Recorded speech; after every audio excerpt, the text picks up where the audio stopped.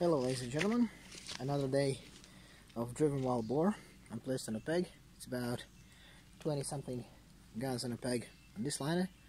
Uh, we're having about 20 beaters with 20 dogs. We hope to make two drives in a day.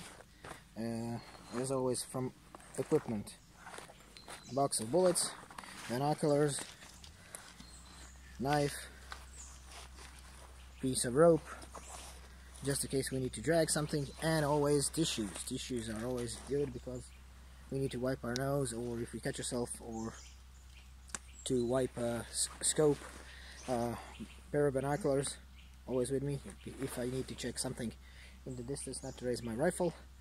And uh, there's some tractors in the distance working but we're pushing they're behind us. We're pushing this side in the front.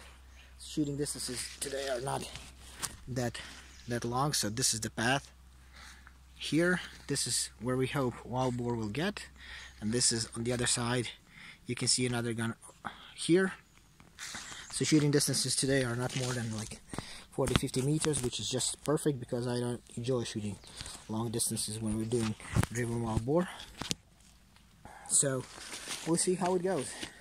Uh, not a lot of wind. There was some fog. Uh, which is pretty specific for this time of year for Croatia. Not cold, almost 10 degrees, so it's not cold. As you can see, I didn't put on a lot of gear on me, so just a shirt, a vest, and uh, I'm not even zipping up because if it gets cold, I will zip up. On the other hand, I walked from the cars to here maybe 300-400 meters. I didn't even get warm, didn't even put on a sweat.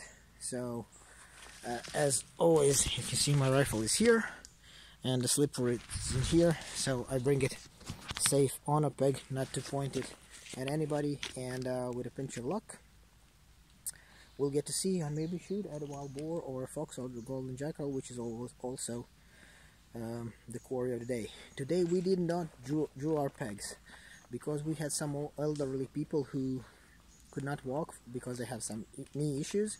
So they walked uh, the least and we placed them on a peg not to put stress upon their bodies and on their legs. For walking purposes they sat on the pegs sooner and uh, yeah that's about it. The only thing we can do now is wait for the guns to be placed on a peg and then the drive to start and with a pinch of luck you'll get some movies later. Cheers. Enjoy. Bye